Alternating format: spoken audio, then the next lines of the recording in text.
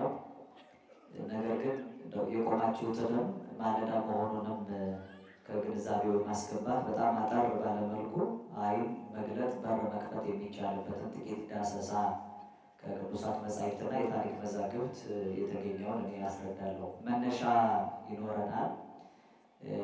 ርዕስ ባለበት አካላት ይሰበሰባሉና መነሻችን አጠቃላይ ያለውን የዕለቱን በዓልና የቦታውን ታሪክ የሚያወሳ እንዲሆን እኔ ጠቅስላቸዋለሁ። በቅዱስ መጽሐፍ መዝሙረ ዳዊት መዝሙር 77 በቅንፍ 78 ቁጥር 15 ላይ አለቱን በምድረ በዳ ሰነጠቀ፣ ከጥልቅ እንደሚገኝ ያህል ብዙ አጠጣቸው፣ ውሃንም ከጭንጫ አወጣ ሲል ዳዊት ይናገራል። በምድረ በዳ ለእስራኤላውያን የተደረገ ታሪክ ነው። ለጊዜው ነው እንጂ በፍጻሜው ግን ዛሬ ቅድም ሊቃውንቱ ኋላ ሊቃውንቱን የተከተሉ ደቀ መዛሙርቱ ሲመሰከሩ እንደሰማችሁት ዕለቱ የተቀደሰ ውሃ የተገኘበት ጥምቀት ለፍጥረታት ለፈውስ ለድህነት እንዲሆን ራሱ ባለቤቱ ጌታችን ኢየሱስ ክርስቶስ አለት አፍልቆ ከአለት ላይ ውሃ አፍልቆ በግብፅ በረሃ በእናቱ አማካኝነት ለትውልድ የሰጠበት የአዲስ ኪዳን ፈውስ ገና መጥምቀ መለኮት ቅዱስ ዮሐንስ ሳይገለጥ ጌታችን በሕፃንነቱ ወራት በዚህ መካከል የገለጠበት ዕለት የሚታሰብበት ነው እና ያንን መነሻ በማድረግ ቦታውም የጠበል ስፍራ ስለሆነ በዚህ የሚደረገውን ገቢረ ተአምራት የሚያወሳ አጭር መልእክት ነው የምነግራችሁ። ዕለቱን በሚመለከት ሰኔ ስምንት የሚታሰበው መጽሐፈ ስንክሳር ወበዛቲ ዕለት ኮነ ተስካረ ቅዳሴሃ ለቤተ ክርስቲያን ዘግተትነ ማርያም ድንግል በክሌ ወላዲተ አምላክ ይልና በሀበ ነቃማይ ዘውእቱ መጽሐፍ ቡሩክ ዛንቃ እግዚ ኢየሱስ ሎቱ ስብሐት። አመ ንግደቱ ምስሌሃ ውስተ ምድረ ግብፅ በጊዜ ተመይጦቱ ዘኮነ። ጌታችን ኢየሱስ ክርስቶስ ስደት አርባ ሁለት ወራት ከእናቱ ጋር ከተሰደደ በኋላ ሲመለስ እመቤታችን እግር ቅድስት ድንግል ማርያም ከቆመችበት እግሯ ስር ካለው አለት ላይ ለፈውስ ለድህነት የሚሆን በበረሃው መካከል ታምራትን የሚገልጥ ውሃን ያፈለቀበት የከበረ ዕለት እንደሆነ ቀኑ ይናገራል። በዚያም ደግሞ ወይ ታጸው እምነቃ ማይ ቡሩክ ወይ አዩ እምኩሉ ደዌ ከበሽታው ሁሉ ሰዎች እየታጠቡ የሚፈወሱበትና ከጥማቸው የሚረኩበት ዕለት እንደሆነ ስንክሳሩ ይናገራል። በታምረ ማርያም በቅድምም ላይ ከሰላሳ ሦስቱ በዓላት መካከል አንዱ ሰኔ ስምንት ቀንም ለሕሙማን ድህነት ሊሆን ልጇ ውሃን ከአለት ላይ ያፈለቀበት ዕለት ነው ብሎ የእመቤታችን የቅድስት ድንግል ማርያም የግዝት በዓል በዚያ ምድረ በዳ መካከል ለፍጥረት አዝና ስትለምን ጌታችን ኢየሱስ ክርስቶስ ከአለት ላይ ውሃን ያፈለቀበት ዕለት ነው ይላል። ውሃው ለመጠጥ ብቻ የሚሆን ሳይሆን በውሃ ምንጭ ታጥበው ከደዌያቸው ሁሉ ሰዎች ይድኑ ስለነበር ለድህነት የሚሆን የተቀደሰ ውሃ ጌታችን ኢየሱስ ክርስቶስ ለፍጥረቱ በሥጋ ተገልጦ መስጠት የጀመረበት ቀዳሚው ቀን እንደሆነ የቤተ ክርስቲያን አዋልድ መጻሕፍት ይናገራሉ። ውሃ ለድህነት የሚሆን ውሃ ሲሆን ማየ ጸሎት፣ ማየ ጸበል ወይም ጠበል እየተባለ ይጠራል። በቅዱስ መጽሐፋችን ላይ የእግዚአብሔር መንፈስ ከሚያድርባቸው ስፍራዎች ቀዳሚው ውሃ እንደሆነ የመጀመሪያው የዘፍጥረት መጽሐፍ ኦሪት ዘፍጥረት ምዕራፍ አንድ ከቁጥር አንድ እስከ ሁለት ባለው በቀዳሚ ገብረ እግዚአብሔር ሰማይ ወምድር በመጀመሪያ እግዚአብሔር ሰማይና ምድርን ፈጠረ ይለና ምድርም ባዶዋን ራቁቷን ነበረች፣ ጨለማን በጥልቁ ላይ ነበር የሚለውን ከተናገረ በኋላ ወመንፈስ እግዚአብሔር ይጼልል መልዕልተ ማይ የእግዚአብሔር መንፈስ ግን በውሃ ላይ ነበር ይላል። ይህ የእግዚአብሔር መንፈስ የተባለው አስቀድሞ የነፋስን መፈጠር የሚያሳይ ነው። በምስጢር ግን በጥምቀት ለሚሰጠው ሀብተ መንፈስ ቅዱስ ምሳሌ በአዲስ ኪዳን ሆኖ የሚያገለግል የእግዚአብሔር የክብሩ ማደሪያና መገለጫ ሆኖ ይጠቅም የነበረው ውሃ መሆኑን ያሳያል። ቅድም ሲነበብልን በሰማነው በወንጌል ክፍል ጌታችን ኢየሱስ ክርስቶስ ለደቀ መዛሙርቱ በአጋንንት ላይ ስልጣንን ሰጥቷቸዋል። ድውያትን እንዲፈውሱ፣ ሙታን እንዲያነሱ፣ ታምራትን እንዲፈጽሙ ስልጣኑን ሀብተ ታምራቱን ጌታችን ሰጥቷቸዋል። አንድ ርኩስ መንፈስ ካስወጡ በኋላ የሰው ልብ ዙፋን የሰውን ሰውነት ድንኳን የሰውን አንደበት ልሳን አድርጎ የሚቆጣጠረው ጸላዔ ሰናያት ርኩስ መንፈስ ከዚያ ሰው ከወጣ በኋላ ይላል የማቴዎስ ወንጌል ምዕራፍ 12 ቁጥር 45 ላይ ርኩስ መንፈስ ግን ከሰው በወጣ ጊዜ እረፍት እየፈለገ ውሃ በሌለበት ስፍራ ያልፋል ይላል። ውሃ ባለበት ስፍራ መንፈስ እግዚአብሔር ያደረበት ኋላም ጥምቀት ልጅነት ለፍጥረታት የሚሰጥበት እግዚአብሔርም የሚቀድሰው ነውና ጸላዔ ሰናያት የበጎ ነገር ሁሉ ጠላት የሆነ ዲያብሎስ መንፈስ እግዚአብሔር ባለው ውሃ ላይ ማደር ስለማይቻለው በደረቁ ስፍራ ላይ ሰዎች ላይ ለማደር እንደሚያለባ መጽሐፍ ይናገራል። በቃል ፍቺ ጸበል የሚለው ቃል ብናኝ፣ ትቢያ፣ ደቃቅ አፈር፣ አዋራ የሚለውን ቃል በቃል የሚገልጠው ጸበል ማለት አዋራ ማለት ነው። ቅዱሳን ሐዋርያትን እንዲህ ይላቸዋል። የማቴዎስ ወንጌል ቅድም በሰማነው ምዕራፍ 10 ቁጥር 14 ላይ ስትሄዱ ለእናንተ ደጃችሁ በትር እንዳትይዙ ለእግራችሁ ጫማ እንዳይኖራችሁ ወደ ሄዳችሁበት ሀገር ገብታችሁ ወደ ቤትም ዘልቃችሁ ሰላም ለዚህ ቤት ይሁን በሉ። ሰላማችሁ ይድረሰን ለሚል ሰላማችሁ ያድርበታል። ሰላማችሁን ለማይቀበል ግን አለና ንግፉ ጸበለ እገሪክሙ የእግራችሁን ትቢያ አራግፋችሁ ከዚያ ቤት ውጡ ይላል። የእግር ትቢያ ጸበል ይባላል። በጻድቁ አባታችን ርዕሰ ባሕታውያን አቡነ ገብረ መንፈስ ቅዱስ ገድላቸው ላይ ስልሳ አናብርት ስልሳ አናብስት ይከተሏቸዋል። እነዚህ አራዊት ናቸው፣ የዱር እንስሳት እኔን ይከተሉኛል።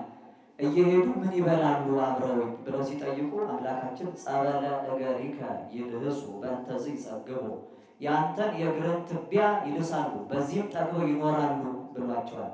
ጸበል የሚለው ቃል በቃል ፍቺው አዋራ፣ ትቢያ፣ ደቃቅ አፈር ማለት ነው። ነገር ግን ከዚህ ከምንጠጣው ከምንጠመቀው ጸበል ብለን ከምንጠራው ጋር የሚያያይዘው ብዙ ምክንያቶች አሉ። አንደኛ የቃል ተፋልሶ ይሆናል። ምክንያቱም ጠበል የሚለውን በልማድ ሰው ጠን ፀሐይ ማለት ኋላ ቀርነት እንደሆነ በማሰብ ፀሐይ ይላል ሰው። ስለዚህ ጠበል የሚለውን ቃል ሊቁ ኪዳነ ወልድ ክፍሌ ሲመሰክሩ ሲገልጡት ጠበለ ማለት ለጠበል መነሻውን ይጠብል ይጥብል ይጥብል እያሉ ያራቡታል። መጠመቅ ገላን በውሃ መንከር፣ ነከረ፣ ጠመቀ፣ ዘፈቀ ማለት ነው ጠበለ ማለት ይላሉ። ስለዚህ ጠበል የሚለው መነከሪያ፣ መዘፈቂያ ውሃውን የሚገልጥ ሆኖ ያገለግላል። ጠበልና ጸበል ደግሞ የሚያገናኛቸው ጌታችን ኢየሱስ ክርስቶስ ከልጅነቱ ከእናቱ ማኅፀን ከወጣ አንስቶ በግንባሩ ላይ የዓይን ምልክት ያልነበረውን ሰው ምራቁን እንትፍ ብሎ ጸበል ወይም እርጥብ ጭቃ ሰራ ይላል። አዋራ አፈሩን ከምራቁ ጋር አዋህዶ በግንባሩ ላይ ዓይን ምልክት ሰርቶለት ሂድና በጠበል ግን ታጠብ ተጠመቅ ብሎታል። ኋላ ያለውን የጌታችንን ምራቅ ከአዋራው ጋር የተገናኘውን የረጠበውን ጸበል ወደ ጠበል ስለመራው ከዚህ ጋር በማያያዝ በልማድ ጠበልን ጸበል ወይም አዋራ፣ ትቢያ፣ እምነት ከሚለው ጋር በማያያዝ መጥራት የተለመደ ሆኗል። እንግዲህ ጸበል በአገልግሎቱ የሚጠመቁት ነው፣ የሚታጠቡበት፣ የሚረጩት ነው፣ የሚቀቡት፣ የሚጠጡት ሆኖ ያገለግላል ማለት ነው። በተለይ በቤተክርስቲያናችን ስርዓት መካነ ርቅየት ነበረ በጥንቱ መጽሐፈ ኪዳን ሊቶን እንደሚመሰክረው ካህናት አባቶቻችን ሕዝቡን ከባረኩ በኋላ የሚረጩበት ቅድም የዳዊት መዝሙር ምስባክ ሲሰበክ በሂሶጵ እርጨኝ እነጻማለሁ የሚል ቃል ሰምታችኋል። መዝሙር አምሳል ሂሶጵ የሚባለው እንደ እንጆሪ ቅጠል ያለ ነው። መስዋዕት ከቀረበ በጉ ከተሰዋ በኋላ የበጉን ደም በዚያ ቅጠል እየነኩ ይረጩታል። ለመንጻት የሚሆን ይሆናል። በአዲስ ኪዳን ስርዓት በንጹህ ውሃ እረጫችኋለሁ የሚል ስርዓት ስላለ ንጹህ ውሃ የተረጨንበት ሀብተ ወልድና ስመ ክርስትና የተቀበልንበት ኋላም አባቶቻችን እየባረኩ በማየ ጸሎት ከሁላችን ላይ የጠላትን ምክር የሚያፈርሱበት በረከት መንፈሳዊን የሚያድሉበት ነው። የማየ ጸበል ወይም ጠበል አገልግሎቱ በመጽሐፍ ቅዱስ የተዘጋጀ መጽሔት እንዳለ ሰምቻለሁ። በስፋት በዚያ ላይ ተካቷል። በመጽሐፍ ቅዱስ ታሪክ ውስጥ ቅዱሳን አባቶቻችን በጠበል ተጠቅመዋል። የጠበል አገልግሎቱ በብሉይና በአዲስ ገቢረ ተአምራት መስራት ነው። ኋላ በአዲስ ኪዳን የልጅነት ተብሎ ከመንፈስ ቅዱስ አብራክ ከዮርዳኖስ ማህፀን የምንወለድበት ተደርጎ ቢሰጥም ከዚያ አንድ ጊዜ ከሚፈጸመው ጥምቀት ውጭ ያለው ሁሉ በማየ ጸበል ወይም በጠበል አማካኝነት የሚፈጸም ገቢረ ተአምራት አለ። የመጀመሪያው ሰው ለአዳም ትውልድ ሐረግ ውስጥ ከሰባት እስከ አስረኛው በተጠቀሱት መካከል ያለው ታላቁ ጻድቅ ሰው የጽናት አብነት የትዕግስት ምሳሌ ኢዮብ ነው። ኢዮብ ከራስ ፀጉር እስከ እግር ጥፍር ድረስ በተመታበት የቁስል በሽታ ጸላዔ ሰናያት የበጎ ነገር ጠላት ዲያብሎስ ፈትኖታል። ሁሉን ካጣ ሁሉን ከተነፈገው በኋላ እግዚአብሔር ደጅ ጠንቶ ታምኖ ስለኖረ እግዚአብሔር አምላክ በዮርዳኖስ ኢዮብን ተጠምቆ እንዲድን አምስት ቀን የጥምቀት ቀን ሰጥቶታል። በቤተክርስቲያናችን ትውፊት አይታችኋል። ዘመን ከመለወጡ አዲስ ዘመን ከመምጣቱ በፊት ያለውን ወርሃ ጳጉሜን ወይም የጳጉሜንን ሳምንት ኢዮብ ተጠምቆ የዳነበት ብለን በመሰየም ምዕመናን ሌሊት እየተነሱ በዚያ ይጠመቃሉ። ሁለተኛ ራሱ መጥምቀ መለኮት ዮሐንስ አምስቱ ቀን የታሰረበትን ቀን ስለሆነ ለሱን ለማዘከር፣ ሶስተኛው ግን ከጨለማ ወደ አዲሱ ዘመን ለመሻገር ኃጢአት እድፋችንን ከላያችን ለማስወገድ ጳጉሜንን አምስት ቀን የጥምቀት ጊዜ ሆኖ በትውፊት እያገለግላለን። መጀመሪያ ኢዮብ በማዮርዳኖስ በዮርዳኖስ ውሃ ተጠምቆ ከቁስሉ በሽታ ድኗል። ኋላ በደማስቆ ያሉትን ታላላቅ ወንዞች ተስፋ አድርጎ የነበረ የወልደ አዴር የጦር አለቃ የነበረው መስፍን ንዕማን ወደ ነቢየ እግዚአብሔር ኤልሳ መልእክት ልኮ ታላላቆቹን አባናና ፋርፋ የተባሉ የደማስቆ አፍላጋት እጠመቅባቸዋለሁ ብሎ ሲያስብ በዚያ ሄዶ እንዲጠመቅ ሳይሆን እግዚአብሔር አምላክ የፈቀደለት ማየ ዮርዳኖስን እንደሆነ ኤልሳ ነግሮት ንዕማን መጥቶ ብቅ ጥልቅ እያለ በማየ ጥምቀቱ ተጠምቆ ከለምጽ በሽታው እንደዳነ ድኖም ሲያበቃ ዛሬ እኛ እንደምናደርገው በዚህ ስፍራ ላይ ተጠምቀን ስንጨርስ እምነት ከቦታው ላይ ይዘን ከተቀደሰ ስፍራ ወደ ቤታችን እንሄዳለን። እምነት እምነት ይባላል። አፈሩ፣ ትቢያው፣ ጸበሉ፣ አቧራው ማለት ነው። ንዕማንም ብዙ ሀብትና ወርቁ ለነቢየ እግዚአብሔር ለኤልሳ መስጠት ወዶ ኤልሳ ነቢየ እግዚአብሔር ግን እሴ ይጥኑ ለጸጋ እግዚአብሔር በወርቅ ወዘብሩ የእግዚአብሔርን ጸጋና ሀብት እኔ በወርቅና በብር ምሸጥ ይመስላል? እኔ የተቀበልኩት ያለ ዋጋ ነው፣ አንተም የዳንከው በራሱ በእግዚአብሔር ያለ ዋጋ ነው ብሎ በነፃ ድነት ከሰጠው በኋላ ወርቅና ብሩን ወደ ራሱ ይዞ እንዲመለስ አደረገው። በወርቅና ብሩን በጫኑት ግመሎች ላይ ግን ለእምነቱ ማካሄጃ የሚሆን ይላል ለእምነቱ ማካሄጃ የሚሆን ከቅድስቲቱ ሀገር ከእስራኤል ከዮርዳኖስም አፈር ጭኖ ወደ ቦታው ተመለሰ።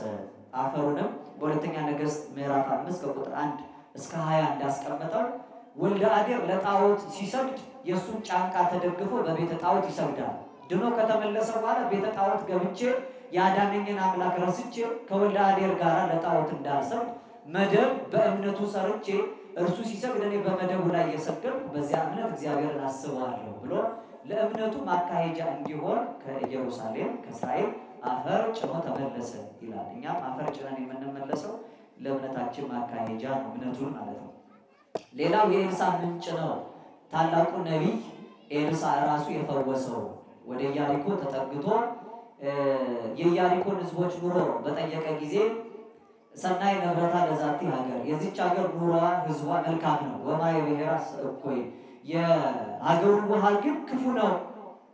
የሚወልዱ ሴቶች በጠጡት ጊዜ ጽንስ ያጨነግፋቸዋል፣ መሃን ያደርጋቸዋል። ከሩቅ ያለ ይጠጣዋል፣ በቅርብ ያለ ግን ውሃውን ጠጥቶ በረከት አያገኝበትም ብለው ሲነግሩት በማሰሮ ጨው ጨመራቸው አምጦልኝ ብሎ ማሰሮውን ከነጨው በምንጩ ላይ ቀብሯል። ከዚህ በኋላ እግዚአብሔር እንዲህ አለ፣ ይህንን ውሃ እኔ ፈውሼዋለሁ አለ ይላል። ሁለተኛ ነገሥት ምዕራፍ ሁለት ከቁጥር አንድ እስከ ሀያ ሁለት ታሪኩ ተጽፏል። ያም ውሃ የተፈወሰ ሆነ፣ ሲጠጡት በረከት የሚሰጥ መሃኖች የሚወልዱበት ሆነ። በፊት የሚወልዱትን መሃን የሚያደርግ ነፍስ የተሸከሙ በሲት ተጾረት ነፍስ ነፍሰ ጾር ነፍሰ ጡር የሆነችዋን ሴት ጽንሷን የሚያጨነግፍ የነበረው አሁን ግን ማኅፀን የሚፈታ በረከት የሚያድል ምንጭ ሆኗል። ያ ማየፈውስ ሆኖ ያገለገለ ነው። ሌላው በአዲስ ኪዳን ዮሐንስ ጸያሄ ፍኖት መንገድ ጠራጊ የነበረው እርሱ ያጠምቅ የነበረው የውሃ ጥምቀት አለ። ስለ ራሱ ሲናገር አንሰ አጠምቀክሙ በማይ እኔ የማጠምቃችሁ በውሃ ነው። ወበማእከልክሙ ሀሎ ይቀውም ዘኢተአምሩ አንትሙ እናንተ የማታውቁት እርሱ ግን በእናንተ መካከል ቆሟል እሱ ከኔ በረታል ከኔ በኋላ ይመጣል ብላችሁ ዛለውን ቅድሜ ውእቱ ይመጽእ እምድሬ ከኔ በፊት የነበረ ነው ከኔ በኋላ የሚመጣው እርሱ በእሳት በመንፈስ ቅዱስ ያጠምቃቸዋል ብሎ ከልጅነት ጥምቀት የተለየ በረከት የሚገኝበት ጥምቀት ዮሐንስ ጋር እንደነበረ ይናገራል። ብዙዎች ኃጢአታቸውን እየተናዘዙ መጥተው በዮሐንስ ፊት ይጠመቁ እንደነበር የእርሱ ጥምቀት ለጊዜው ለነፍስ ድህነት ምልክት የምትሆነው የሥጋ እጥበት ነው። በረከት ያሰጣል፣ የኃጢአት ስርየት ያሰጥ ነበር። እርሱ ያደርግ የነበረው የማጥመቅ ስርዓት በአዲስ ኪዳን ተጠቅሷል። ሌላው ዘፕሮፓቄ ቅርንትራ የምትባል ቤተሳይድ ቤተሳይዳ ጌታችን ኢየሱስ ክርስቶስ ተገኝቶ ተአምር ያደረገባት አምስት መመላለሻ ያላት መጻጉዕ ደጅ ይጠናባት የነበረው ስፍራ ላይ የተደረገ የነበረው ጥምቀት ነው። የዮሐንስ ወንጌል ምዕራፍ አምስት ላይ አምስት አይነት በሽተኞች በአምስቱ መመላለሻ በር እየገቡ ማዩን ወይም መጠመቂያውን ውሃ መልአክ እግዚአብሔር ወርዶ ሲባርከው ሲያንቀጠቅጠው ምልክት አይተው ሮጠው ይገባሉ። በሳምንት አንድ ቀን ብቻ ቀድሞ የገባ በሽተኛ ይፈወስባት የነበረ የጥምቀት ስፍራ ያም ፈውስ ያሰጥ የነበረ ቦታ ነው። ጌታችን ኢየሱስ ክርስቶስ በዚህ ስፍራ ላይ የነበረው ደጅ የሚጠናውን መጻጉዕን ያለ ጥምቀት አልጋን ተሸክመ ተነስና ሂድ ብሎ አድኖታል። እንዲያይተው በአዲስ ኪዳን ጥምቀት አያስፈልግም የሚሉ ሰዎች አሉ። በጥምቀት ስፍራ የነበረውን ጌታችን አልጋን ተሸክም ሂድ ያለው ለሌላ ታምር ነው። ኋላ ግን ጥምቀት ስፍራ ያልነበረውን ሰው ደግሞ ሄደ ተጠመቅ ብሎ ሲሰብከው እናያለን። የዮሐንስ ወንጌል ምዕራፍ 9 ቁጥር 11 ላይ ቀደም የነገርኳችሁን አቧራውን በምራቁን ትፍ ብሎ የአይን ምልክት በግንባሩ ላይ ደረቅ ግንባር በነበረው የአይን ቦታ ባልነበረው ሰው ላይ ይሄንን ሰርቶ ሄደህ በሰሊሆን መጠመቂያ ስፍራ ታጠብ ተጠመቅ ብሎታል ጌታችን ኢየሱስ ክርስቶስ። በሰሊሆን ታጠብ ብቻ ሳይሆን የሰሊሆን መጠመቂያ ብሎታል። ለጥምቀት አገልግሎት የሚሆን የሰሊሆን ውሃ ነበረ። ኋላ ብዙዎች ያንን ሳይፈልጉ ርቀው የእግዚአብሔርን መንገድ ጥለው በሚሄዱበት ዘመን ነቢዩ ኢሳይያስ በትንቢቱ ምዕራፍ 8 ቁጥር 6 ላይ በቀስታ የሚወርደውን የሰሊሆምን ውሃ ግን እነሱ ጠልተዋል እያለ ይናገራቸው። ደጅ ጠንተው እግዚአብሔርን ተማጽነው ቀስ ብለው ፈውስ የሚያገኙበትን ስፍራ የሚጥሉ የሚንቁ ሰዎች አሉ። ቶሎ ታምሮ ወደሚደረግበት ስፍራ ሲሄዱ እግዚአብሔር ደጅ ጠንተው መቆየት ያቃታቸው ማለት ነው እና ያ መጠመቂያ ስፍራ ነው የሰሊሆን መጠመቂያ ስፍራ።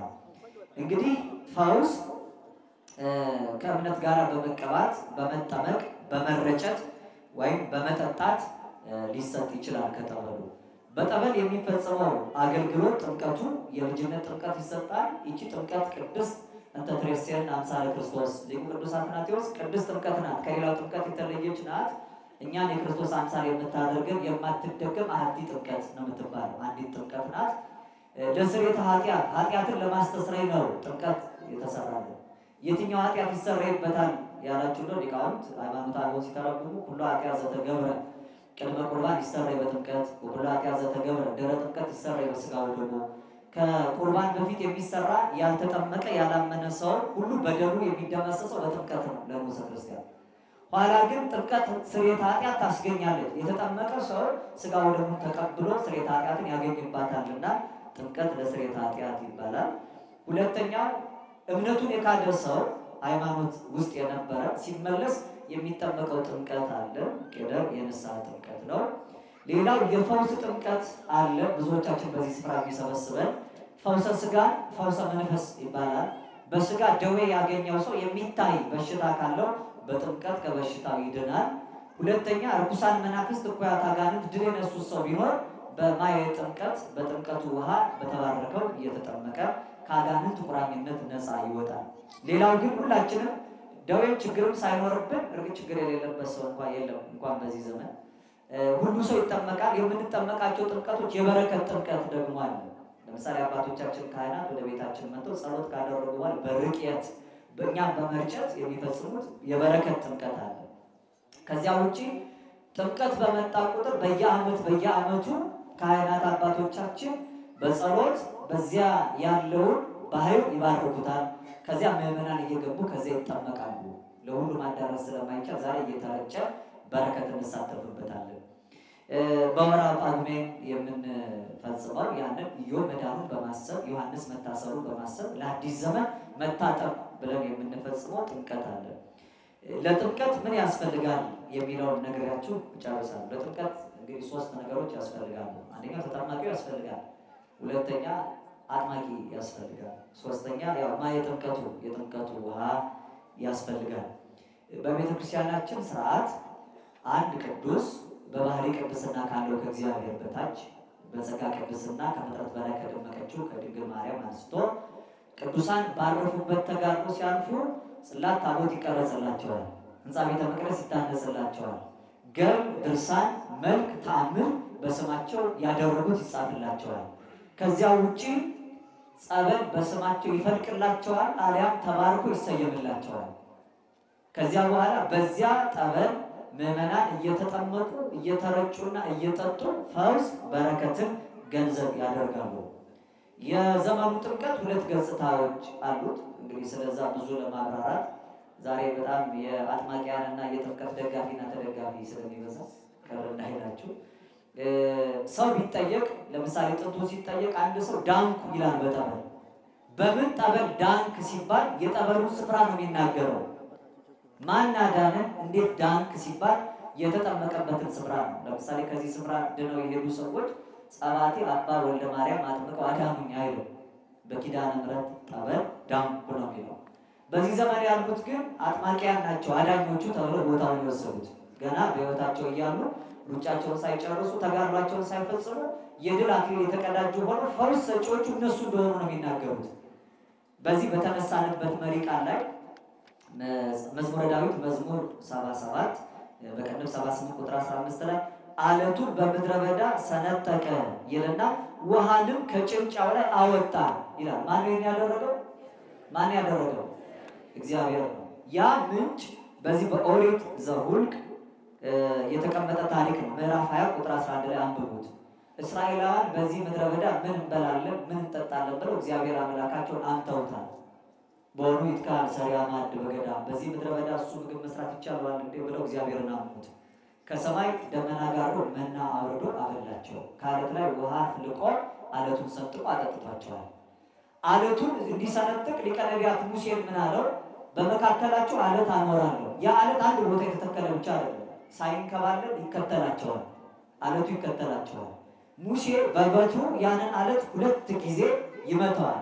ሲመታው አለቱ አስራ ሁለት ቦታ ምንጭ ሆኖ ይፈልቃል። አስራ ሁለቱ ነገድ ከዚያ ምንጭ እየጠጡ ከተነሱበት ምድረ በዳ እስከ ምድረ ርስት ድረስ የመጠጥ የመጠጥ ፍላጎታቸው በዛ ተሟልቶላቸው ይቆዩ ነበር። ነገር ግን ሙሴ ምን አደረገ? ያንን ከመታ በኋላ ይሄ ውሃ አፈለኩላችሁ ጠጡት አላቸው ይላል። እየሰማችሁ አፈለኩላችሁ ምን በሉ ጠጡ አላቸው። በዚያ ጊዜ እግዚአብሔር በሙሴ ላይ ያዘነበትና ምድረ ርስት አትወርስም ዛሬ አጥምቄ አዳንኩ የሚለውን ሰው ምድረ ርስት አይወርስም። እንኳ አጥምቆ እንኳን ማዳን ከቻለ ማለት የእውነት ከቻለ አደረግኩ ካለ እሱ አደረገ፣ እሱ አይነት ተአምራት ፈጸመ ተብሎ ከተነገረለት አላደረግኩም ያደረገው እግዚአብሔር ነው ብሎ መመስከር አለበት እንጂ ለራሱ የእግዚአብሔርን ቦታ ከወሰደ ምናልባት እግዚአብሔር ከሆነ ምናልባት ያ አጥማቂው ሲያጠምቅ ተአምር ያደረገው እውነት በሱ ያደረገው እግዚአብሔር ከሆነ እኔ ነኝ ያደረግኩት እኔ ነኝ ያጠመቅኩት ብሎ ገድሉን በቁሙ ከጻፈ ይሄ ሰው ከምድረ ርስት እድል ፈንታ ጽዋ ተርታ የለውም ማለት ነው። ያ የምናዝነው ለተጠማቂ ብቻ ሰው ለአጥማቂው ጭምር ነው ማለት ነው። ተመልሶ አትወርስም ከተባለ ያ ምሳሌ ነው። ከግብፅ ባርነት ከዓለም ግዞት ነፃ መውጣት ምድረ ርስት ረፍት የማታልፏን መንግስት ዘላለማዊቷን ርስት መቀዳጀት ነው። ዛሬ እስራኤላውያን ከግብፅ ባርነት ሲያወጣቸው ለአብርሃም ወደ ማልኩት ርስት አገባቸዋለሁ ያላቸው ምድረ ከነዓን እኛንም ደግሞ ከዚህ ዓለም አውጥቶ የሚወስደው ለአብርሃም ወደ ማለለት የአብርሃም እቅፍ ነው። አልዓዛርን ሲሞት ወእምዝ ሞተ ዝኩ ነዳይ ወወሰድዎ መላእክት ውስተ ሕፅነ አብርሃም አልዓዛር ከሞተ በኋላ መላእክት ነፍሱን ወደ አብርሃም እቅፍ ወሰዱት። የአብርሃም እቅፍ ማለት በአብርሃም ቃል ኪዳን የምትወረስ ርስት፣ ለጊዜው በምድር ከነዓን፣ ለፍጻሜው ግን ገነት፣ ኋላ መንግስተ ሰማያት። እነዚህ በቅዱሳን ቃል ኪዳን የሚወረስ ርስት ስለሆነ የቅዱሳን እቅፍ እየተባለ ይጠራል። ታላቁ ሊቀ ነቢያት ሙሴን ከአብርሃም እቅፍ ለየሁ ያለው አለቱን ሰንጥቆ ውሃ ፍልቆ ድንቅ ያደረገውን እግዚአብሔር ቦታ ወስዶ ያችን ተአምራዊ አለት ውሃውን እኔ ነኝ በታምር የሰጠኋችሁ ስላለ ይህን ያደረኩት እኔ ነኝ ስላላቸው እግዚአብሔርን ስፍራ አንተ እግዚአብሔር በመንግስቱ ቀናኢ ነው። ያ ጎልማሳ በሚስቱ ንጉሥ በመንግስቱ ሲመጡበት እንደማይወደው ማለት ነው። እግዚአብሔር በታምር አድራጊነቱ ውስጥ መንክር እግዚአብሔር በላይ ለቅዱሳን ይሆ እግዚአብሔር ድንቅ ነው፣ ነገር ግን በቅዱሳኑ ላይ ድንቅ ነው ይላል። ያ ሰው ይሄን ድንቅ ነገር አደረግኩ የሚለው ቅድስና ለራሱ ሰጥቶ ስለሚሆን ከእግዚአብሔር መንግስት እድል ፈንታ ጽዋ ተርታ የለውም። ስለዚህ ዛሬ ማን አጠመቀ በማን ጠበል ዳንክ ቢባል አትክልት ብቻ ነው ጎማ ተቀጥሎለት ከተገኘው ስፍራ ላይ የሚሰጠው ውሃ የሚጠጣው። እየሰማችሁ ውሃ የሚረጭበት በየመንገዱ አትክልት ነው። ሰው አንድ አጥማቂ መጣ ይባልና ሜዳ ላይ ከተሰበሰበ ውሃ ውሃ ከቧንቧ ተተክቶ ተተክቶለት እንደ አትክልት ውሃ የሚጠጣበት ዘመን ላይ ስላለ ማለት አጥማቂው ከተጠማቂው ስላለየ ብዙ ማስረጃ ከቅዱስ መጽሐፍ አልጠቅስም። እንደ በጣም ልብ የሚነካና የዘመኑን ሶስት አይነት የተታለሉበት ምዕመናንን ስራ የሚያሳይ ከቅዱስ መጽሐፍ ታሪክ ልንገራችሁ። እናንተ ቤታችሁ ሄዳችሁ ታሪኩ በስፋት አንብቡ። መጽሐፈ ስንክሳር ላይ መስከረም አስር ቀን የሚታሰብ የስምዖን ዘአንድን ሕይወት ተከትሎ በአንድ አምድ ላይ ጸንቶ ተአምር ያደርግ የነበረ አባ አጋቶን የሚባል ታላቅ የቤተክርስቲያን አባት አለ። ሶስት ታሪኮች ተቀምጠውለታል አባ አጋቶን። የመጀመሪያው እንዲህ ይላል፣ ወከማሁ ኮነት ብእሲት ዘትቤ ሚናስ ሰማዕት ይትናገረኒ። ከዚህ በኋላ እንዲሆን አንዲት ሴት ተነሳችና በቤተ ክርስቲያን ሰማዕቱ ቅዱስ ሚናስ ተገልጦልኛል አለቻቸው ይላል። ማ ተገልጦልኛል? ቅዱስ ሚናስ ታላቁ ሰማዕት ተገልጦልኛል አለቻቸውና ወደ ጉድጓድ ስፍራ አምጥታቸው ይህን ቆፍሩ አለቻቸው። ጉድጓዱን ሲቆፍሩ ምንጭ ፈለቀላት ይቺ ሴት። የሰማችሁ እውነትም ሚናስ አናግሯት ነው አሉ። በምን ታውቃለች? ከከርሰ ምድር ያለው በዚህ ስፍራ ምንጭ እንዳለ በምን ተረድታለች አሉና ምንጭ ሲፈልቅላት እውነትም ሰማዕቱ ቅዱስ ሚናስ የላካት ታላቅ ሴት ናት አሉ። ከዚያ በኋላ ይሄንን አለች ጠበል ነው። ከዚህ በኋላ በዚህ ጠበል ውሃ የሚጠመቅ ሁሉ ከማንኛውም ሕመምና ደዌ ይፈወሳል። ይሄንን ሚናስ ለእኔ ነግሮኛል አለቻቸው ይላል። ሰዎችም እየመጡ ለጊዜው ፈውስ የሚያገኙ መስለው በቦታው ላይ በዙ ይላል። ከዚህ በኋላ ይችን ሴት ታላቁ ቅዱስ አባ አጋቶን ነይ ብሎ አንድ ቦታ ጸንቶ እንደ ስምዖን ዘአምድ የሚጸልይ ሰው ስለነበር አስጠራት። በዚያችን ሴት ላይ የነበረው እርኩስ መንፈስ ተመለከተው፣ አዘነላትና ከቆመበት ስፍራ ሆኖ የእሷን ልብ ዙፋን ሰውነት ድንኳን አንደበት ልሳን አድርጎ በታላቁ ሰማዕት ቅዱስ ሚናስ ስም የሚያታልለው ዲያብሎስ ገሰጸው፣ ከእርሷን ርቆ ሄደ ይላል። እሷም ገና ተጠምቃ በእውነተኛው ማየ ጥምቀት የምትድን ሆነች። ነገር ግን አባ አጋቶን ምን?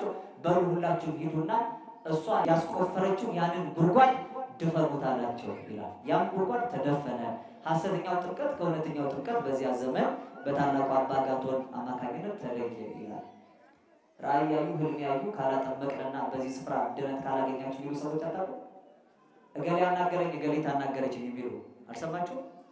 ሁለተኛው ታሪክ ደግሞ እንዲህ ይላል። ወካይ በተነሳ አካለ ብእሲ ወውእቱ ያስተጋበውን ለአብዳን እለ ቦሙ ጋንኤን ወይዘብጦሙ ወያድህኖሙ ንስቲተ ጊዜ ይላል። ከዚህ በኋላ አንድ ሰው ደግሞ እንዲሁ በቤተክርስቲያን ተነሳና ምን አደረገ? አጋንንት ያለባቸውን እርኩስ መንፈስ አይምሮ የነሳቸው ሰዎች በሙሉ ሰበሰበ ሰበሰበን እየደበደበ እየመታቸው አጋንንትን ከላያቸው ላይ ማራቅ ጀመረ ይላል። የሚታመሙትንም መፈወስ ጀመረ። እነዚያም ሰዎች ለጥቂት ጊዜ ይድኑና ይፈወሱ ነበረ ይላል። ለምን ያህል ጊዜ አልኳቸው? ለጥቂት ጊዜ ይድኑና ይፈወሱ ነበረ። አጋንንትም እየጮህ ከእነሱ ይወጣላቸው ነበር ይላል። ይሄንንም ታላቁ አባ አጋቶን በዚያ ስፍራ ላይ ሆኖ እንደ አምድ ተተክሎ ከሚጸልይበት ስፍራ ሰማ። እንደዚያች እንደቀደመችቱም ሴት ወደ እኔ ና አንተ ሰው አለው። እርሱ ግን መምጣትን እምቢ አለ። በዚያ ጊዜ በራሱ ላይ የራሱ ሰዎች ተነሱበት። በአገሩ የነበረ መስፍነ ብሔር አገረ ገዢ በመንገድ ሲያልፍ እነዚያ የእሱ ተከታዮች ያንን መስፍነ ብሔር ሰደቡት፣ አንጓጠጡት፣ ተናገሩትም። የእሱ ተከታዮች ናቸው እንዲህ የሚያደርጉኝ ብሎ ጽኑ መከራ አጸናበት፣ ጽኑ ስቃይ ማበዛበት። ከስቃዩ ብዛት የተነሳ ለንስሐ ዕድሜ እንኳ ሳይሰጠው ያ ተአምር አደርጋለሁ የሚለው ሰው ሞተ ይላል። እንዲህ በከንቱ ከማለፍ ተአምር እናደርጋለን የሚሉትን የንስሐ ዕድሜ ሰጥቶ እግዚአብሔር ይጠብቅልን። ስለዚህ አደርጋለሁ የሚሉ ዛሬ የሚደበድቡ የሉ አሉ አይደል? አስተኝተው ከስር የሚደበድቡ አጋንንትን አስወጣለሁ ብሎ ተአምር እንሰራለን የሚሉ በቅዱስ መጽሐፍ በኢየሱስ ክርስቶስ ስም ሐዋርያት ተአምር ሲሰሩ ይላል ሐዋርያት ሥራ ላይ። ብዙዎችም ስሙን እየያዙ በየስፍራው ተአምር እናደርጋለን የሚሉ በዙ። አንድ ጋኔን ያለበትን ሰው በቤት ውስጥ ዘጉበትና በናዝሬቱ ኢየሱስ ስም አንተ ርኩስ መንፈስ ውጣ አሉት ይላል። ያ ርኩስ መንፈስ ያደረበትም ሰው ቀና አለን። እናንተ ማን ናችሁ? ጳውሎስን እንደው እኔም አውቀዋለሁ እኮ ኢየሱስንም አውቀዋለሁ አላቸው። ታገላቸው፣ ልብሳቸውን ቀደደ፣ አቆሰላቸው፣ ሊሞቱ ደረሱ ይላል። እሱ ሳይወጣ እነሱ በመስኮትና በበር እየሮጡ ወጡ ይላል።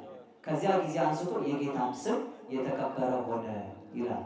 የከበረ ስሙን የሚገልጥ አምላካችን ስሙ በድጋሚ የተመሰገነ ይሁን። ሶስተኛውና የመጨረሻው ልንገራችሁ። የመጀመሪያው ሴቲቷ ሚናስ ተገለጠልኝ ብላ ታምር አድርጋለሁ የምትል ሁለተኛው እየደበደበ ርኩሳን መናፍስትን አርቃለሁ ሲል የኖረ በመስፈነ ብሔሩ በስቃይ ብዛት የተሞተ ነው። ሶስተኛው ወበማይሊሁ አስተርአየ ብእሲ ውስቴቱ ሰይጣን ወኮነ ውእቱ ይነብር ውስተ ቤተ ክርስቲያን ወአስማቶሙ ለሕዝብ ብዙሃን። በዘመኑም ደግሞ አንድ ሰው በቤተ ክርስቲያን ውስጥ ተቀመጠና እርኩስ መንፈስ ያደረበት ነበረ። ብዙ ድንቅ ተአምራትንም አደርጋለሁ ይል ነበር። ብዙ ሕዝቦችንም ከሚያሳየው ተአምር የተነሳ ያስታቸው ጀመር ይላል። እንዲያውም ይላል ከእንጨት ቅርፊት እየወሰዱ አጋንንትን በዚህ እናርቃለን የሚሉ ተከታዮቹ ከእርሱ ስር ይቀመጡና ሌሎቹንም ያስጨንቁ ነበር ይላል። ዛሬ በቅርፊትና በግንድ የተሰራ ብዙ ነገር መቁጠሪያ በሩ፣ መቋሚያ በሩ ያንን ምክንያት እያደረጉ ከቤተክርስቲያን ያልተገኘዋል አባቶቻችን መቁጠሪያ የሚጠቀሙት ለቁጣሮ ነው። ቁጣሮ ማለት ጊዜያት ለመጠበቅ ማለት ነው። ጊዜያት መጠበቅ ማለት ደግሞ በቀን ሰው ሰባት ጊዜ ጸልያል። ሰባቱን ጊዜ ሲጸልይ እግዚኦታ የሚያደርስበት ኪርያላይሶ እያለ አምላኩ ደጅ የሚጠናበት እንጂ ራሱን ሰው ፊት የሚደበድብበት አይደለም። ያንን ተአምር እናደርጋለን የሚሉ ከእንጨት በቅርፊት ተአምር እንፈጽማለን የሚሉ ከእግሩ ስርም የሚቀመጡ ነበሩ ይላል። አባ አጋቶን ግን ለዚህ ሰው አዘንለት። ቤተ መቅደስም ስለነበረ እያለቀሰ ለመነና ደዌውን አራቀለት። ያንን እንጨት ጥለው እግዚአብሔርን ተከትለው ፈውስ ተአምራት የሚደረግ በግለሰብ ሳይሆን በእግዚአብሔር በራሱ ጸንተው በቆዩ አልፈው ዋጋ በተቀበሉ እንደሆኑ ህዝቡ አመኑ ይላል። ከሶስቱ ታሪክ አሁን የሚፈጸሙትን ተአምር አድራጊዎች ነን የሚሉ አጥማቂያንን ያገኛቸው ይመስለኛል። አላገኛቸው እንደው ብዙ ሩቅ መሄድም አያስፈልግም። ሩቅ ቦታ ሄዳችሁ ገሌ አጥማቂ ገሌ አጥማቂ እንዳትሉ። እዚህ ቦታ የተፈጸመው ነገር ልንገራችሁ፣ በተለይ የቆያችሁ ስለምታውቁት ማለት ነው። አስራ ዘጠኝ ዘጠና ዘጠኝ ዓመተ ምህረት ላይ አንዲት ሴት ተነስታ ነበር አይደል? ምን ማን ነበር? ምስሌ ከፍቅረ ኢየሱስ ነው ስሜ የምትል ሴት ታስታውሳለች። ስሜ ምስሌ ከፍቅረ ኢየሱስ እንጦጦ ኪዳነ ምሕረት ነው ይሄ ታምር የተገለጠልኝ ብላ 1999 ዓመተ ምህረት ግንቦት አንድ ቀን ጸነሱ ብላለች። ጸንሳ ማንን ወለድሽ ሲሏት እኔ መለኮትን ወልደዋል እዚህ ኢየሱስን ወለድኩ አለች። ሎቱ ስብሐት። ከዚያ እኔ እንዲያውም አይደረ መለኮት ነኝ የመለኮት ማደሪያ ድንግል ማርያም ነኝ በክብሯ የምትገለጥ ፍጥረት ፊቷ ስለማይቆር በእኔ ላይ ደግሞ ተገለጠች ብላ ሴትዮይቱ ብዙ ተከታዮች አኑራ ነበር። ተአምር አደርጋለሁ የምትል አልቅሳ አልቅሳ በልቅሷ ብዛት ብሎ ሱዳን ድንበር መተማ ላይ ተአምር ተገልጦልኛል በይ ከዚህ በኋላ ሄደች ተአምር አድርግ የተባሉ የምትል ሴት ማለት ነው። ሲሄዱ እገሌ ተገለጠልኝ ብቻ ሳይሆን እገሌ ነኝ እስከ ማለት ድፍረታቸው የደረሰ ሰዎች እዚሁ እንጦጦ ተነስተው ነበር። እንጦጦ የሚለውን አንድ ነገር ነግሬ ልጨርስ ነኝ። የእንጦጦን ታሪክ ሲነሳ እንጦጦ የሚባለው ታሪክ መነሻው ይሄ ቦታ ነው። እንግዲህ ከታላቋ ገዳም ዋልድባ የመጡ ብዙ አባቶች እዚህ መካከል አያለው እና በዋልድባ ገዳም ያለ ስርዓተ አበው የሚባል ከገድለ አባ ሳሙኤል ጋራ ያለ በህትመት ያላገኘ ነው አንድ የአባቶቻችን የስርዓት መጽሐፍ አለና የዋልድባ ገዳም ታሪክ ከየት ነው የተነሳው፣ ከየት ነው የተጀመረው የሚለው ነው። ስርዓተ ምንኩስና በሀገራችን ሲጀመር ኋላ እና አባ እንጦንስ ካነጹት ከሰሩት መላካዊ ስርዓት ከሆነው ተነስቶ ወደ ሀገራችን በእነ አቡነ አረጋዊ በኩል እስከ አቡነ ተክለ ሃይማኖት እንደወረደ ታሪክ ይነግረናል። የዋልድባ ስርዓቱን ግን ከነ አባ እንጦንስ ጀምሮ በሀገራችን ያስጀመረው ራሱ ባለቤቱ ጌታችን ኢየሱስ ክርስቶስ እንደሆነ ያ ስርዓተ አበው የሚባለው መጽሐፍ ይመሰክርልናል። ብዙ አባቶችን ከዝቋላ ይላል ከዝቋላ ከቡልጋና ከምንጃር እግዚአብሔር አምላካችን በዚህ ታላቅ ስፍራ አስቀድሞ ታቦተ ኪዳነ ምሕረትንና ታቦተ መድኃኔዓለምን ሰጥቶ ሰበሰባቸው ይላል። በእንጦጦ እዚህ አመረው ያለንበት ስፍራ ማለት ነው። በዚህ ውስጡን ስትመለከቱ ብዙ ግቡሳን አባቶች ያሉበት እነዚያ ግቡሳን ማለት ሰው እንደኛ ያለው ሰው ሰባ ዓለም በዓለም የሚኖር ሰው ይባላል። ከዓለም ተለይቶ እንደ አባቶቻችን ደግሞ ንጸብቆ ከተቃራኒ ጾታ ራሱን ለይቶ የሚኖር ሰው በራሱ በፈቃዱ የሞተ በስጋው ሞቶ በነፍሱ ልዕልና ግን ስጋውን አክብሮ መላካዊ ጠባይ ገንዘብ ያደረገ መነኩስ ይባላል። መነኩሳት የሚኖሩት በማይበር ከማይበረ መነኩሳት ተለይቶ የሚኖር ደግሞ ብቸኛ የሆነ ስለሆነ ባይታዊ ይባላል። በአት ዘግቶ ራሱን ከቶ የሚኖር ማለት ነው። ከዚያ ወጥቶ ግን ለተልእኮ ፈቃደ ሥጋ የማያታልለው ከብቃት የደረሰ ግሁስ ይባላል። ግሁሳን አባቶቻችን በርቀት ይኖራሉ። ከርቀት ውጭ በግዝፈት የሚኖሩ ግን ዓለም ድል እነሱ ስለሆኑ የማናውቃቸው ወድቀው በየስፍራ የምናገኛቸው ሆነው ሊመላለሱ ይችላሉ። ከእልፍ በላይ የሆኑ ከአስር ሺህ በላይ የሆኑ ግሁሳን አባቶችን አምላካችን ታቦተ መድኃኔዓለምና ታቦተ ኪዳነ ምሕረትን ሰጥቶ በዚህ ስፍራ ሰበሰባቸው። አንድነት ከዚያ አንስቶ ግን በየስፍራው ሲሄዱ ተአምር እያደረጉ ሰቋር ከሚባለው ስፍራ ዋልድባ ዛሬ ከሚታወቀው ታላቁ ገዳም ላይ የድንጋይ ቆብ ሰርቶ በምንኩስና አጽንቶ ተባይቶ አጽንተው በዓለም ያለውን የላመ የጣመ ሳይቀምሱ እንዲኖሩ ጽናቱን ኃይሉን ሰጣቸው ይላል። ይህንን ቦታ ተነስተው የባረኩት ስለሆነ በቅድስናው ቦታ አባቶች ምን ይላሉ? ይቺን ስፍራ እነሱ ከባረኳት አንስቶ ሌሎቹ መናንያን ሲገፉ እየመጡ የሚጠለሉባት ኦሆ በሃሊት ይሏታል። እሺ ባይ ኪዳነ ምሕረት ያለችባት ማለት ነው። ስለዚህ የሚነግሯትን የሚጠይቋትን ሁሉ የምትሰማ እሺ የምትል ታቦት ቀድሞ በነበሩት ግኁሳን ጌታችን ኢየሱስ ክርስቶስ እነሱ ሲሄዱ ወተሰውጠ የሆኑ በመካከላቸው ተገልጦ እየባረካቸው ተአምር እያደረገላቸው ቦታዋን ባርከዋታል። ሲሄዱበት የነበረውን ስፍራ በሙሉ እየቀደሱ ተአምር አድራጊነቱን አጽንተዋል። ከፍ ስትሉ እንጦጦ ማርያም አለ። ከዛ በጎን በኩል ቅዱስ ኤልያስ ራጉኤል ያለበት የኤልሳ ታቦታውን ያለበት አለ። እነሱ በሙሉ ኋላ የተተከሉ ናቸው። እነ ንጉሥ ዳዊት በቀደመው ዘመን ቦታውን መናገሻ ሲያደርጉ ተስፋ ያደረጉት የእንጦጦዋን ሐመረ ነው። የኖህ ሐመር ከጥፋት ፍጥረት የሚደንባትን ይችን የተቀደሰች ስፍራ ነው። ስለዚህ በዚህ ስፍራ ላይ ያለው ጠበል ፈዋሽነቱ በዚህ ዘመን የተገኘ አይደለም። እንደ ሌሎቹ ስፍራዎች የሆነ አጥማቂ ሲመጣ ታምሮ የሚደምቅበት ስፍራ አይደለም። ከቀደመው ዘመን አንስቶ በቅዱሳኑ ቃል ኪዳን እግዚአብሔር ተአምር ያደርግባት የነበረች ስፍራ ናት። የጠበል ጥምቀት አሰጣጡና አጠቃቀሙ የራሱ ስርዓት አለው። የሚጠጣውን ሰው አይጠመቅበትም፣ የሚጠመቅበትንም ደግሞ አይጠጣውም። ይህ ስርዓተ ቤተክርስቲያን ለምሳሌ የቅዳሴ ጠበል ዛሬ ለሁሉ አንድነት ይሰጣል እንጂ በፊት ለሁለት ተከፍሎ ነው የሚሰጠው። በመንበሩ ላይ ማየ መቁረር ተብሎ የማብረጃ ውሃ ለቆራቢያን ብቻ ይሰጣል። ቅዳሴው ሲደረግ ግን ተከፍቶ ከቅዳሴው ጸሎት የሚደገምበት ደጅ የሚጠኑ ምዕመናን እየጠጡ ገቢረ ተአምራት የሚፈጸምበት አለ። ማየ ቅዳሴ የቅዳሴው ውሃ ነው። ከማየው መቁረር ግን የተለየ ነው። ከማብረጃ ውሃ ቆራቢያን ከሚቀበሉት በመንበሩ ላይ ጸሎት ከተደረገበት ይህ ቅዳሴ ትርጓሜ ይናገራል። በቤተክርስቲያናችን ካሉ ገድላት መካከል ገድለ አብየ እግዚእ የሚባል ትልቅ የቤተክርስቲያን አብየ እግዚእ የሚባሉ አባት አሉ። እኚህ ታላቅ ጻድቅ ቅዱስ አባት በሰሜኑ የሀገራችን ክፍል በጣም የሚታሰቡ አባት ናቸው። ወር በገባ በ19ኛው ቀን ይታሰባሉ። ስለ ጠበል በተንቤን አካባቢ ሳሉ አንዲት መበለት ሴት ወደ እሳቸው መጣችና አባቴ ይሄንን ውሃ ጠበል አድርገው ይባርኩልኝ እጠጣው ዘንድ እሻለሁና እንደ ቅዳሴ ማየ ጸሎት ይሁንልኝ አለቻቸው ይላል። ያንንም ጠበል ጸበል ባረኩላት ይላል። ልትጠጣው ወደ አንዲት ወዳጇ ዘንድ ሄደች። በሄደችም ጊዜ ባልንጀሯን ስታገኛት ሀሳቧን ቀየረችውና እጠጣዋለሁ ብዬ አስባርኬው ነበር፣ ነገር ግን እጸበልበታል፣ እባክሽ አፍሽልኝ አለቻት ይላል። ከዚያ በኋላ ውሃውን ተቀብላ ታላቁ ጻድቅ አብየ እግዚእ የባረኩላትን እንደ ቅዳሴ የበረከት ውሃ የሆነላት ለመጠጣት የተቀበለችው ጎንበስ ብላ በራሷ ላይ ልታፈስላ ስትጠብቅ ከመቅጃው የማይፈስ የረጋ ደም ሆኖ በመካከላቸው ታየ ይላል። እጅግ ደነገጡና ወደ ጻድቁ አባታችን አብየ እግዚእ ተመለሱ። ከዚህ በኋላ ልጆቼ እንዲህ የሆነባችሁ ምን አጥፍታችሁ ነው ብሎ ጠየቃቸው። ጻድቁ ምንም ያጠፋነው ነገር የለም አሉት። እሱም እንዲህ አላቸው ሰው ሆኖ የማይበድል የለምና ምንም አላጠፋንም አትበሉ፣ ያጠፋችሁትን ንገሩኝ አላቸው።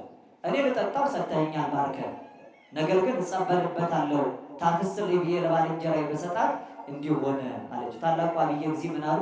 አልቦ አብይ ኃጢአት ከመወልጦ ቃል ቃልን እንደ መቀየር ያለ ታላቅ ኃጢአት የለም። አንድ ነገር አደርግበታለሁ ካላችሁ ሌላ ወደ ማድረግ አትመለሱ። ለምጠጣው ብለሽ ጠይቀሽ እጸበልበታለሁ ስለምናልሽ ለዚህ ነው እንዲህ የሆነው ብለው እንድትጠጣው ዳግም ባርከውላት ጠጥታው ተፈውሳበታለች። በአባቶቻችን ቃል ኪዳን እግዚአብሔር በምሕረቱ በቸርነቱ ሁላችንም ይማረን። በዚህ ስፍራ ስንመጣ ሐመረኖ ኪዳነ ምሕረትን ደጅ ጠንተናል። ስንነግራት እሷ ኦሆ በሃሊት እሺ ባይ ናትና በቀደሙ አባቶቻችን በግኁሳኑ ጌታችን መካከላችን ተገኝቶ በባረከው ማየ ጥምቀት ዘመናት ሳይፈራረቁ ቃል ኪዳኑን ሳይነፍ ቅድም መምህር ሲነግሩኝ ነበረ። እንደው በዘመናችን ባይረ መዝገብ አለ ታምር የተደረገላቸው እሺ ያሉ እሺ ያሉ ብቻ ይጻፋል እና ወደ 6670 በላይ ታምራት በዚህ ስፍራ ላይ በባይረ መዝገቡ በአንዱ ባይረ መዝገብ ታሪካቸው ተጽፎ ይገኛል ብለው ነግረውኛል። ከዚህ በላይ ይሄ እንግዲህ የተቆጠረ የተሰፈረ የተለካ የተመሰከረለት ብቻ ነው። እግዚአብሔር ደግሞ የሚያውቀው ድንቅ የተፈጸመለት እጅግ ብዙ ነው እና ሲፈውስ የነበረ እየፈወሰ ያለና የሚፈውስ እግዚአብሔር ድንቅ ታምራቱን በሚገልጥባት በዚህ ስፍራ እንደሰበሰበን ለድህነተ ነፍስ ምልክት የሚሆነው ድህነተ ስጋ የሚሰጥ ፈውሱን ታምራቱን በዘመናችን ከሁላችን የማያርቅ እርሱ ዛሬም በታላቋ ሐመረ ኖህ የኖህ መርከብ በተባለች ፍጥረት ከጥፋት በዳንባት ፍጥረት ከጥፋት ሲድንባት ቀድሞ ግን ውሃው የጥፋት የነበረባት ዘመን ላይ ዛሬው ግን ውሃው ለበረከት ሆኖ በመርከቡ የሚጠለሉትን የሚያድንባት ታላቅ ስፍራ ነው እና የቦታውን ቃል ኪዳን እግዚአብሔር አምላክ አጽንቶ ይጠብቅልን። ለአባቶቻችን ያለን ክብር፣ ለኦርቶዶክሳዊቷ ተዋሕዶ ሃይማኖታችን ያለን ፍቅር፣ በእምነት ያለን ጽናት፣ በተጋድሎም ያለን ትጋት ሳይቀንስ ሰማያዊ ኃይሉን በታቦት በመስቀሉ መንፈሳዊውን በረከት በእምነት በጠበሉ ተቀብለን ክብሩን እንድንወርስ የሁላችንን ፍጻሜ ያሳምርልን። እመይስሕትኩ አንትሙ ለበመንፈስ አርቶኒ አላገባ የጀመርኩትን ስቼ የሚያጎደልኩትን ብፁዕ አባታችን ሰባቴ መምህራችን በዚህ ስፍራ ያላችሁ ሊቃውንትና ምዕመናን አርሙኝ። እንግዲህ አጭር በወፍ በረር ስለ ጠበል ነው ያቀረብኩት ነው እና ይህንን ከልባችሁ ይዛችሁ ስርዓተ ቤተክርስቲያንን የበለጠ አንብባችሁ ደግሞ እንድታጎለብቱት ይሆን። ይቆየን። ስብሐት ለእግዚአብሔር።